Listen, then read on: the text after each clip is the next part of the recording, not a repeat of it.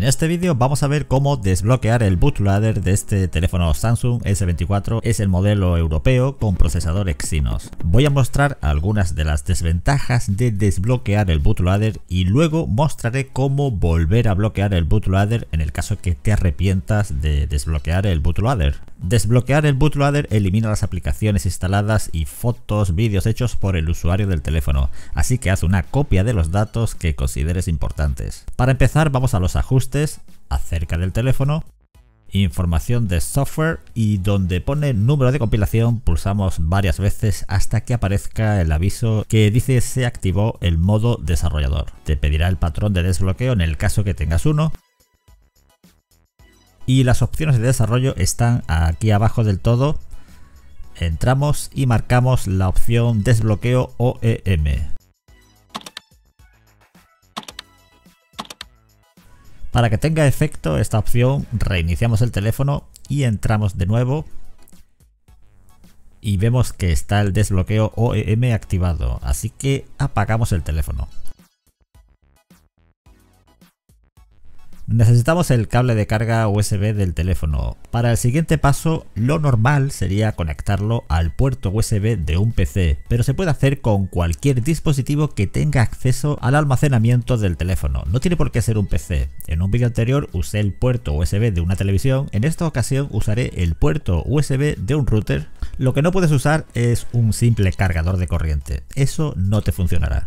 Así que con el teléfono apagado pulso los dos botones de volumen a la vez y lo conecto al cable de carga que está conectado al router. Debe aparecer este menú de opciones con letras chinas. Como hemos marcado la opción de desbloqueo OEM, tendremos la opción Device Unlock Mode que se entra haciendo pulsación larga sobre el botón volumen más.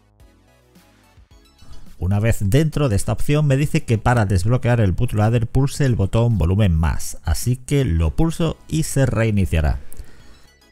Aquí tenemos el pequeño primer punto en contra y es este cartelito que te sale cada vez que reinicias recordándote que el dispositivo es vulnerable y que no almacene datos importantes. Bueno, pues esto te lo repite en cada reinicio. En este primer reinicio te pedirá los datos de configuración igual que cuando estrenaste el teléfono recién comprado de la tienda y una vez que ya has configurado el teléfono a tu gusto, otro posible problema que puede ocasionarte, no siempre, aviso, no siempre ocurre, pero algunas aplicaciones bancarias no se abren si está el dispositivo con el bootloader desbloqueado. Y hay tutoriales para solucionar esto, así que para que lo sepáis, puede que tengáis problemas con las aplicaciones bancarias.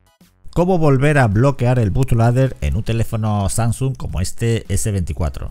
Bueno, pues volvemos a apagar el teléfono pulsamos los dos botones de volumen a la vez y lo conectamos al PC o al router o a una televisión y debe iniciar con este menú. Para entrar a las opciones para bloquear el bootloader hago una pulsación larga sobre el botón volumen más.